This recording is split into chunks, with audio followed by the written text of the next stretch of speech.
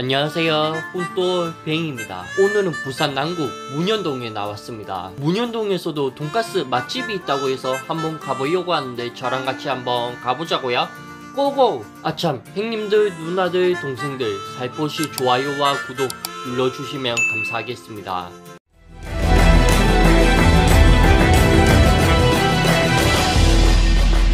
바로 오늘 소개드릴 집은 까마까치라는 곳입니다. 가게 이름부터가 되게 특이하게 되어 있었고 실내 대부는 따뜻한 조명이 포근한 느낌이 있었고 고급스러운 인테리어로 되어 있더라고요. 자 메뉴판입니다. 여기서 옛날 돈가스는 소스가 부어서 나오고 등심 돈가스는 소스가 따로 나오고 있네요. 등심은 국내산 1등급 한돈을 사용하고 그리고 1등급 가브리살만 사용하고 계신다고 하더라고요. 저는 여기서 제일 많이 드시고 있는 옛날 돈가스를 주문을 했습니다. 먼저 스프가 나왔는데요. 보통 돈가스집은 스프가 노란 색깔이라면 여기는 다른 곳과 다르게 스프가 하얀색이었습니다. 그리고 이쁜 잔에 나와서 먹기 전부터 눈이 즐거워서 좋더라고요. 맛은 일반적인 인스턴트 맛은 아니고 순하면서 엄청 부드러운 스프 맛이었습니다.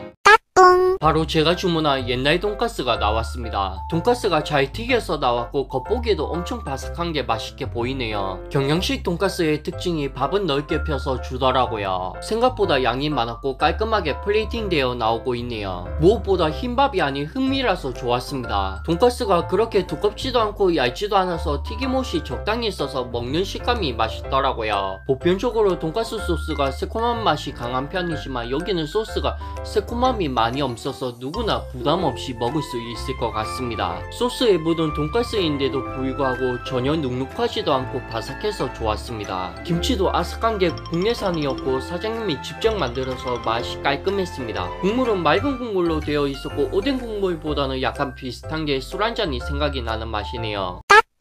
후식으로 자몽 에이드를 주문을 했습니다. 자몽 에이드가 이쁜 컵에 나왔고 자몽이 되게 많이 들어가 있더라고요. 맛은 달달하면서 진한 자몽향이 느껴지면서 시중에 파는 자몽 에이드랑 완전히 다른 맛이었습니다. 상호가 독특해서 사장님한테 물어보니까 까치가 좋은 기운을 가져온다고 해서 지었다고 하더라고요. 문현동에서도 국내산 돈가스를 먹고 싶다면 까마까치 추천해드립니다. 여러분의 시간도 중요하니까 짧게 여기까지 하겠습니다. 자 이렇게 오늘도 맛있게 든든하 게 한 끼 먹었습니다. 끝까지 시청해주신 모든 분들 감사드리고 다음 영상에서 인사드리겠습니다. 안녕